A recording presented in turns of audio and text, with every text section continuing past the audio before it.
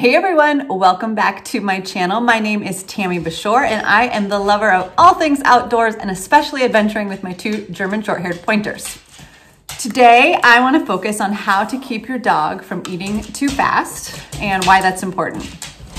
You'll probably hear them in the background because anytime anyone around here starts to talk or have a conversation, they think they need to be a part of it and they start fighting in the background, which is what they're doing right now. They're a little nutty.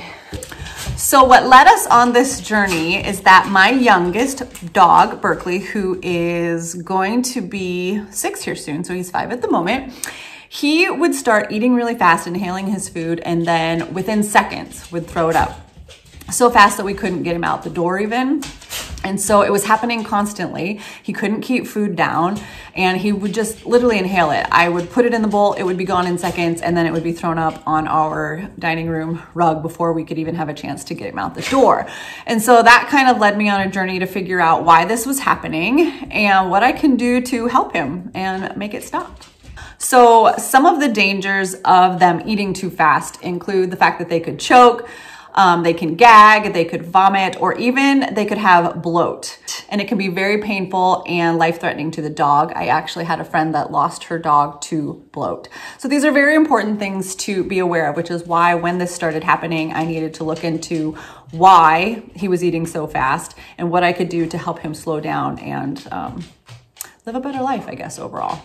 So there are two ways, when I was researching, there are two ways that I kind of looked into as to how to slow him down, ways that I could slow him down. There's kind of an inexpensive way that you likely have the stuff at home. And then there's another way that's actually also inexpensive, but you just have to purchase something um, to, to help in that arena. So the first one is using tennis balls and a muffin tin. You probably have these around. If you have a German short hair, you probably have an ample amount of balls and probably a muffin tin of some sort, regular size muffin tin. So this is a cheap option. You probably have these things like I mentioned. So it's something that's worth trying.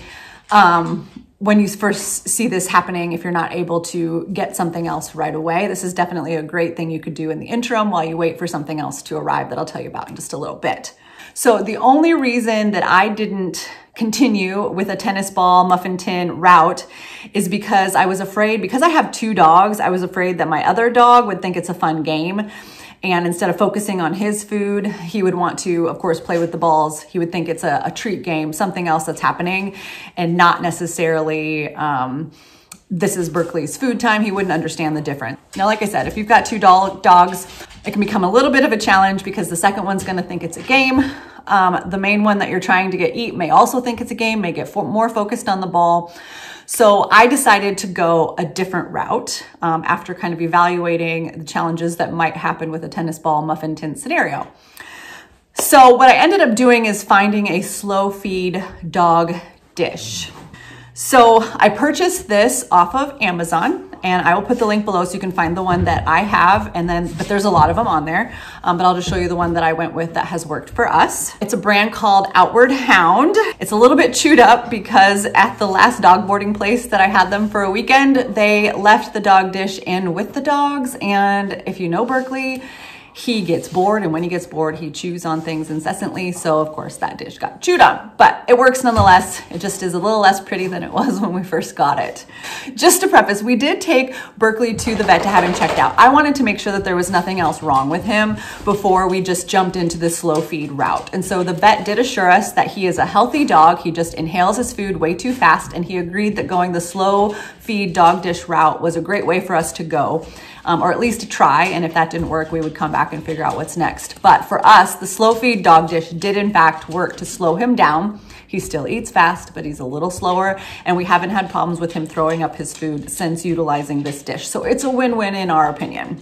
So basically you take the crevices, you fill the dog food all the way around into the dish to evenly distribute it. And then the dog just has to slowly nose his way around um, trying to get the food out of the little crevices. It just makes it a little bit slower than a huge dog dish where I feel like they can just inhale it right up into their mouth into one swoop and it's gone. This way he has to kind of work for it. Um, I feel like the longer he's had it, the better he gets at it. So he's getting a little faster again. We might have to try a few different ones and rotate them. Maybe they just need to be um, different, so it challenges him more. I'm not sure. I will let you know on that part. But so far, this one is working and he hasn't had any problems since we started using this dog dish. So we've been doing this with Berkley since last September, and I just haven't really talked about it because I wanted to make sure it was something that worked for us and for him. What? You don't need nothing. What? Come on up. Come. Up. Oh, it's Benny. Oh, there's Berkley. Yeah, you like to food? Yes, yes.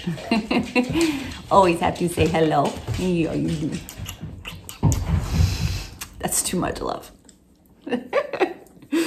So we're happy, he's happy, our floors are happy because we don't have to scrub them every 10 seconds. Overall, we've been really thrilled. It's an inexpensive way to help solve this problem. And I hope if you're having that problem too, that this will help you. Um, I'm so thankful that we decided to go this route and that it wasn't anything serious. I no longer feel like I have to watch him like a hawk. I was tending to have to feed him and then I would watch him. And then immediately after he ate, I would take him outside just in case he threw up. So I was becoming kind of paranoid. Um, but this dish has definitely solved that. And so I'm very thankful for that. Um, as always, make sure you take your dog to a vet. I am not a doctor. I am not a vet. I am not an expert. I am just a woman that has two German short hairs that she loves extremely well and I try really hard to help other people coexist with their German short hairs as well because it's not an easy journey. And if you've been with me for a long time, you know how difficult it was in the beginning for me, but I'm here to help you learn to live happily with your German short hairs, and it is possible. I have two of them. I really would love to have three of them. We just don't have enough room right now, but maybe someday. So there's always a chance.